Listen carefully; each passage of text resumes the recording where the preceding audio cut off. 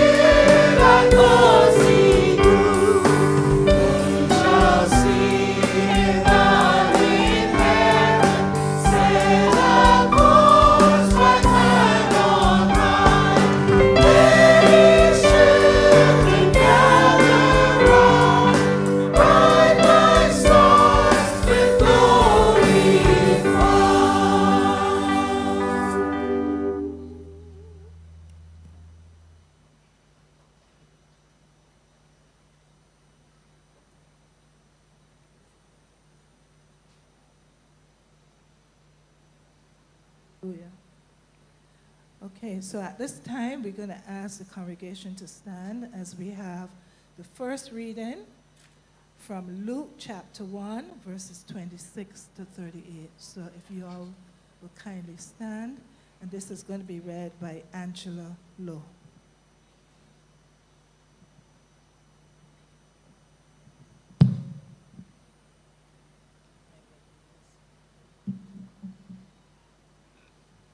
the birth of Jesus foretold.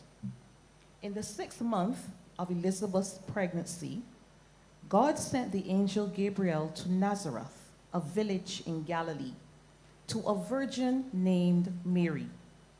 She was engaged to be married to a man named Joseph, a descendant of King David.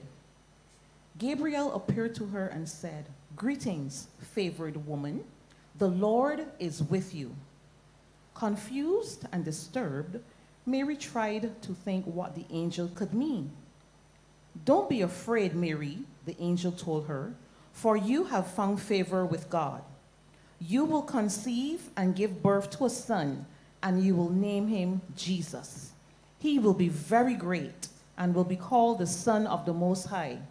The Lord God will give him the throne of his ancestor David and he will reign over Israel forever. His kingdom will never end.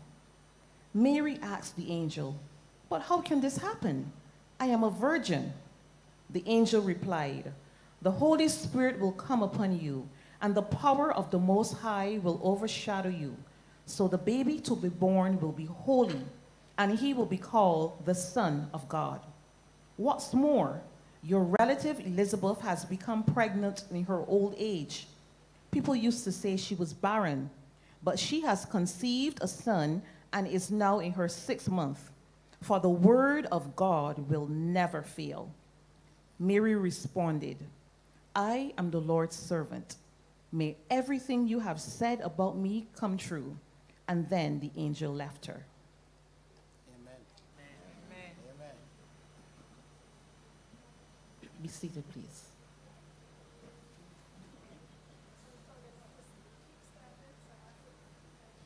Those who want to keep standing, you're free to do so and join us.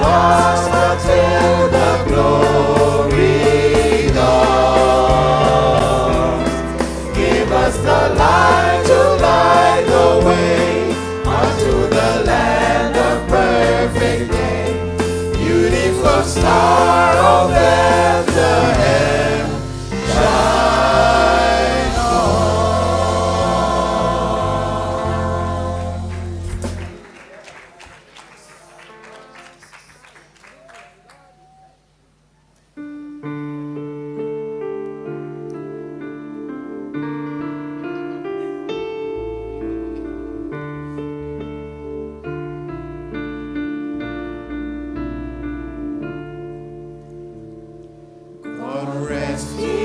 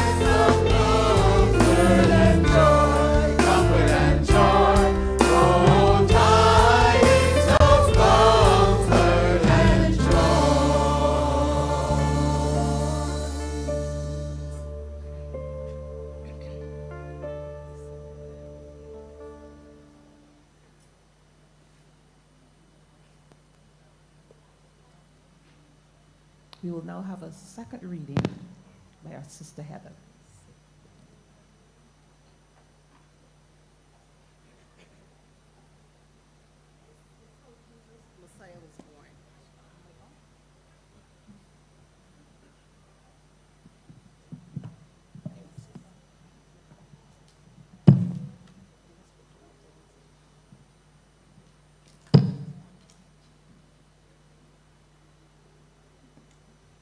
how Jesus, the Messiah, was born.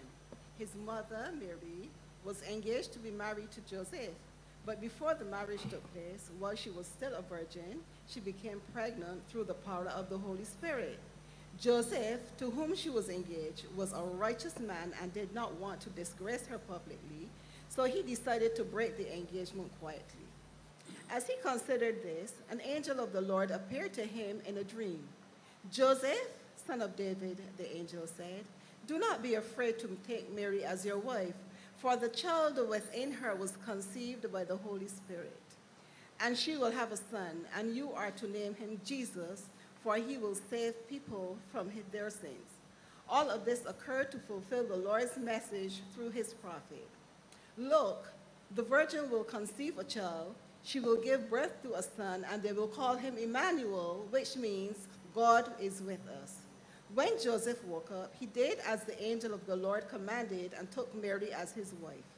but he did not have sexual relations with her until his son was born, and Joseph named him Jesus.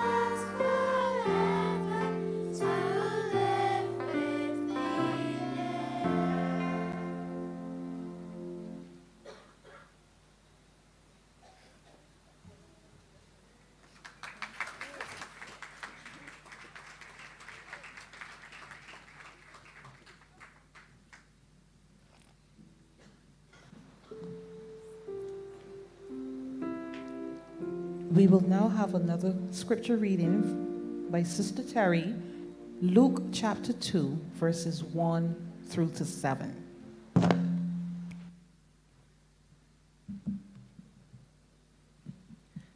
The birth of Jesus. At that time, the Roman Emperor Augustus decreed that a census should be taken throughout the Roman Empire. This was the first census taken when Quirinius was governor of Syria. All returned to their own ancestral towns to register for this census. And because Joseph was a descendant of King David, he had to go to Bethlehem in Judea, David's ancient home. He traveled there from the village of Nazareth in Galilee. He took with him Mary, to whom he was engaged, who was now expecting a child. And while they were there, the time came for the baby to be born.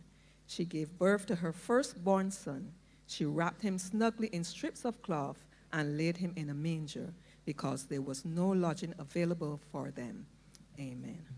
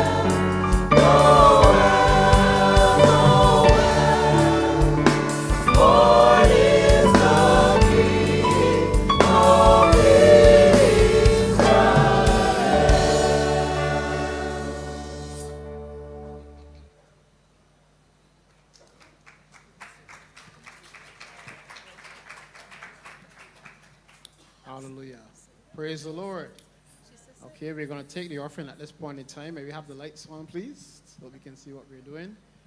I want to encourage you to not just listen and hear these um, nice, beautiful carols around this time, but to really personalize it, you know? Remember exactly what Jesus Christ did for us and what he means to us. Amen? Amen? Yes, they are beautiful hymns and songs and carols, but it's more than just words. But when you see those words, really make it personal and see exactly what has happened that caused these carols to be written. All right? So this evening, continue to really enjoy, like how I am and the rest of us enjoying. So just really enjoy these hymns and we continue to praise the Lord together. So we just want to give God thanks and praise to be able to take this evening's gifts, tithes, and offerings. And we want to just bow our heads and have a word of prayer at this point in time. So let us all pray and give God thanks and praise. Lord Jesus, we thank you that we have this opportunity to give into your kingdom. We are grateful, God, that we have sustenance to give. We ask God for your blessings upon them. We ask God that everyone who gives, God, would indeed return a blessing. Lord God, we ask God for even those who don't have to give this evening, that you will still pour a blessing upon them. Lord, we pray that this evening's gifts, tithes, and offerings will go towards the furtherance of your, of your kingdom. Lord, may men, women, boys, and girls come to know you through the work done here at the People's Cathedral. We ask these things in Jesus' name, amen.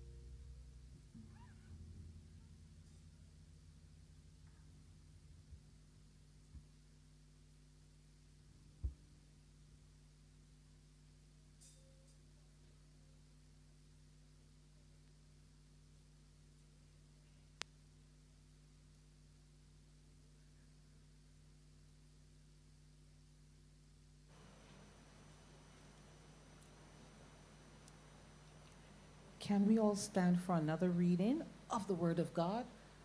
Luke chapter 2, reading from verses 8 to 20 by Sister Denise.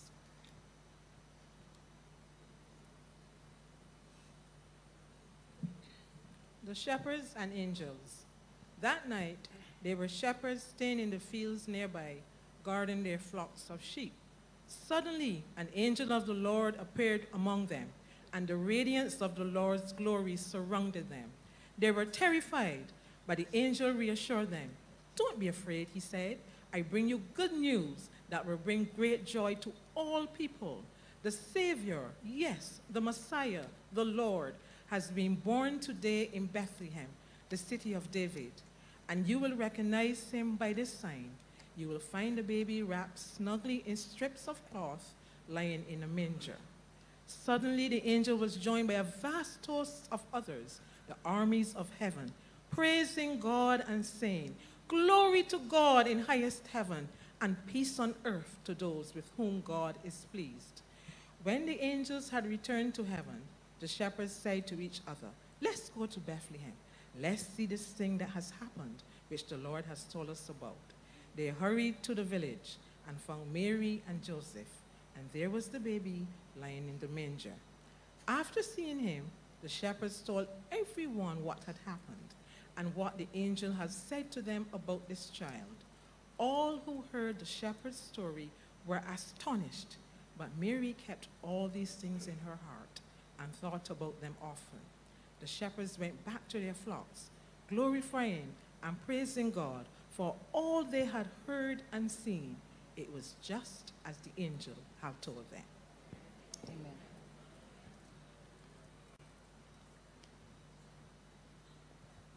We'll I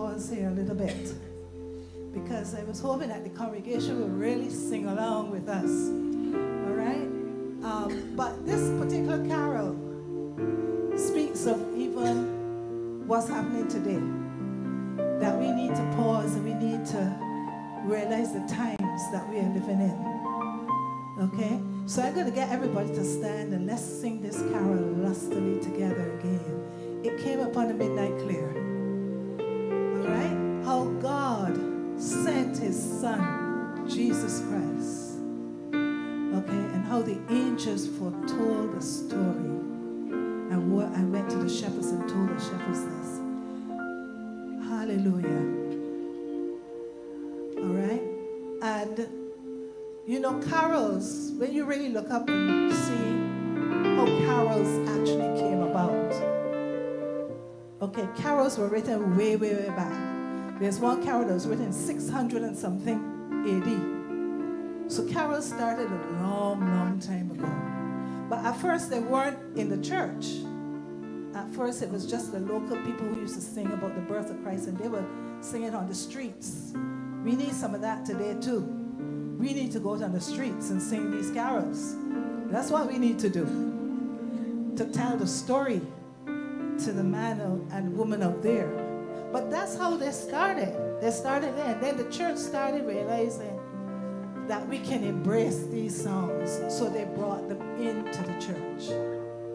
So every carol that we sang tonight, every one of them tells the story of Jesus Christ and his birth and his coming to earth. And then some of them go on to tell you the future and what's actually going to happen. Okay, so we're going to sing this, this one again. It came upon the midnight clear. And right after that, we're going to have Brother Roger read our last scripture lesson for this evening.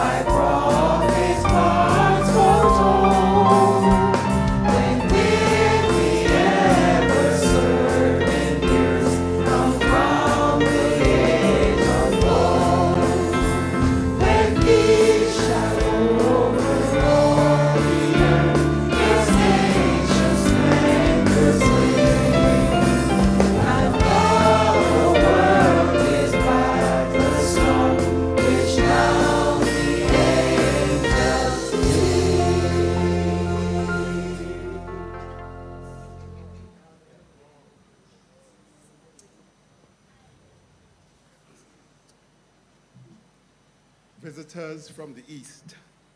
Jesus was born in Bethlehem in Judah during the reign of King Herod. About that time, some wise men from the eastern lands arrived in Jerusalem asking, Where is the newborn king of the Jews? We saw his star as it rose, and we have come to worship him. King Herod was deeply disturbed when he heard this, and was everyone in Jerusalem.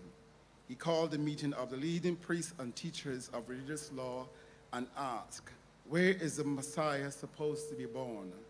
In Jerusalem, in Judah, he said, they said, For this is what the prophet wrote. And you, O Bethlehem, in the land of Judah, are not least among the ruling cities of Judah, for a ruler will come from you, who will be the shepherd for his people, Israel.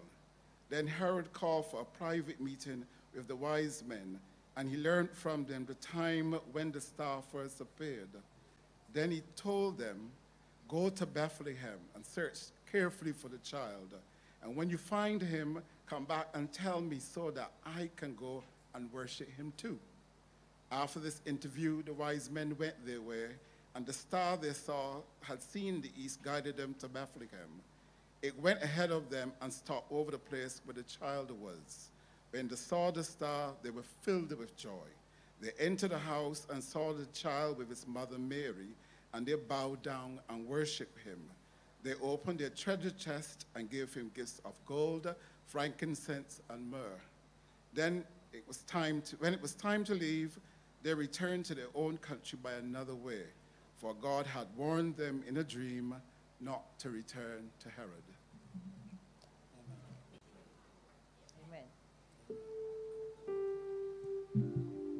Amen. And the scripture that we've heard read tonight, well, we've had all these scriptures concerning the birth of Jesus Christ. But this scripture is filled with the prophecy of the birth of our Lord. And what is impactful about it is that these wise men heard and they believed. And they came from far away, traveled for many, many months, history tells us, to be there when this child was born. They heard the prophecy and they believed that Jesus Christ would be born. And when Herod heard, he also believed and Herod, look who he summoned. He summoned the priests and he summoned the scribes and he asked of them because he recognized that there were the ones who would know concerning this child who would be born. And I would say to us tonight, if these pagan wise men, because that's what they were, could hear of the birth of our Lord and believe, and if Herod a pagan king could hear and believe, how much more we tonight. And perhaps there is someone here. Maybe you were invited to this evening of carols. Perhaps you saw it and you came on your own to just enjoy the carols. But as we have sung these songs tonight, you've recognized the truth in them that truly the Christ was born. He is no longer a babe in a manger, but he is indeed our Savior who bled and died for us, who shed his blood so that we might have life everlasting. It is he that the choir sings about tonight. This is why we present the carols, not just for an evening where we can come together for entertainment, but where we can glorify the Lord through these songs. And if you are here and you do not know this Jesus Christ as your Lord and personal Savior, I want to offer Christ to you. If you would say to me, Pastor, I've never asked Jesus to forgive me of the things in my life that are not right. I've never asked Him to come into my heart and to be my Lord and personal Savior. I want to extend an invitation to you this evening to receive Jesus Christ as your Lord and personal Savior. You see, the Bible tells us all of us have sinned and come short of the glory of God, every single one of us. But God has made provision for that, in that He sent His Son Jesus. That's what Christmas is all about. And perhaps you've been weighed down by the things in your life that are not right because all of us know when we've done things or said things that aren't right. But tonight you would confess, I want my life to change. I want to start fresh. I want to have a new beginning because I know that what has occurred in my life is not right. And I want Jesus to forgive me, to cleanse me, and to help me to start anew. But there is a process. The Bible says you first have to confess that sin and then ask Jesus Christ to come into your heart and into your life. While heads are bowed and eyes are closed and Christians are praying, is there someone here tonight and you do not know Jesus Christ personally as your Lord and Savior, but you would say tonight, I want to ask Him to forgive me of my sin and to come into my heart. Or perhaps you once walked with the Lord, but you find that you have been away from Him and you know where you ought to be. And tonight you would say, I want to come back into alignment with where the Lord would have me. If that is you, would you lift a hand? I will see that hand. I will pray for you. I'll pray with you. I see that hand. You can take it down. Is there someone else here tonight and you would say, I want to ask Jesus Christ? I see that hand. You can take it down. Is there another here tonight? Maybe you've been in church for a long time and you've never made up your mind that this is the time. But you would say, Tonight, I know is the night that I need to ask Jesus Christ to come into my heart. I need to have that change in my life. If that is you, would you lift that hand and say, Yes? I want Jesus Christ to come in to my heart and into my life. I've been in church but Christ is not in me. And you would change that around tonight. If that is you, would you lift that hand and say, I'm making that decision and I am going to stick with it and walk with the Lord. I'm looking one more time. Is there someone else tonight who would lift a hand and say yes to Jesus? Is there someone here who would say, Tonight is the night? This is the time of salvation and I desire that change in my life. I'm going to ask you one more thing for those who lifted a hand. Would you join me here at the front? Would you come and join me and allow me to pray with you tonight? All right. Then, where you are tonight, I'm going to ask you to do this thing. That you would say this prayer with me. You would follow me and you would say this prayer because the Bible says, if we confess with our mouth the Lord Jesus Christ and we believe in our heart that God raised him from the dead, we shall be saved. And for this little one who has come, God bless you. And for the one who is still sitting there, that's all right. God will still work in your heart. Would you repeat after me? And if you mean it, then the word of God assures that you shall be saved. Your sin shall be washed away forever, never to be brought up again. And God will come in and he will be your Lord and Savior. Let's let's say this prayer. Dear Jesus, I come to you tonight. I ask you to forgive me because I've done what is wrong. And now I am putting that aside and I'm asking you to come into my heart and into my life, wash and cleanse me, make me a new person. From today, I want you to take control of my life to be my Lord and my personal Savior. I accept you tonight. In Jesus' name, amen and amen. Bless the name of the Lord. And the Word of God says if you are sincere about saying that prayer, if you believe it, my dear, and you allow God to guide and direct you, if you believe it, ma'am, and you allow God to come into your heart and into your life, He shall indeed guide you. All of us that you see here on this platform, many of us here in this church, we did it, and we can confess that we thank God that we have given him our lives. We have not regretted a single day. The only thing that we've regretted is that we didn't do it a little sooner. And so I say to you, my dear, God bless you, and I want you to know God can keep you from this age all of your life. Many in here will testify of how God has kept them. God bless you. Welcome into the family of God. Praise God. This lady will speak to you, and um, the stewards will tell you, Sister Pat, there's another lady in the back, and they will direct you to who she is.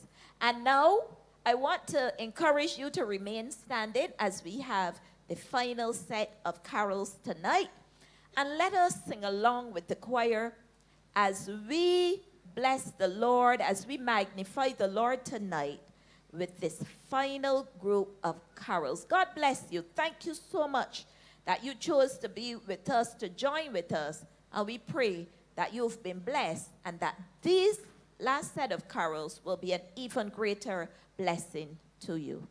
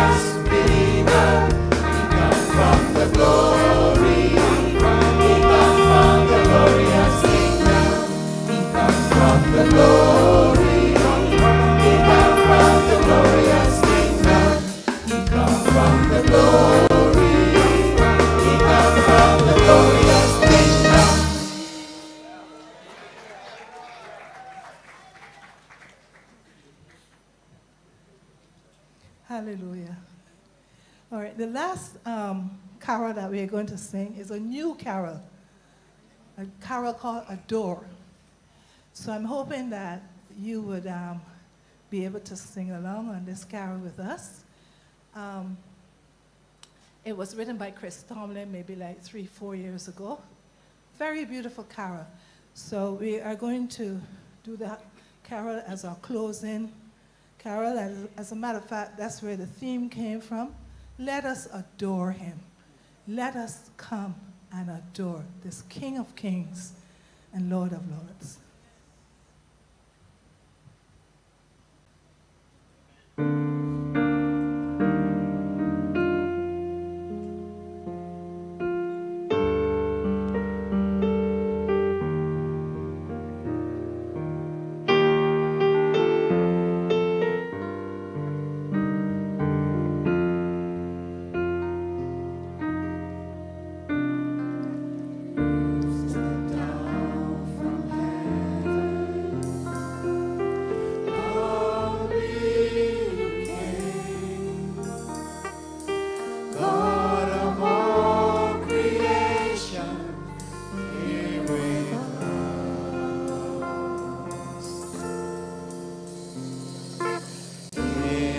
side.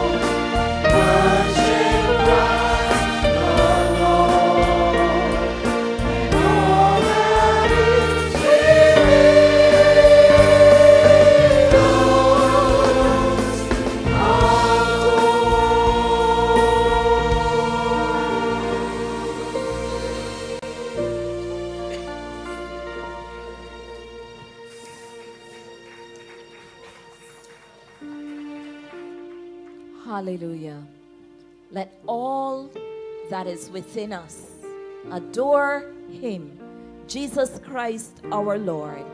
He came as a vulnerable baby, but he is no longer that baby.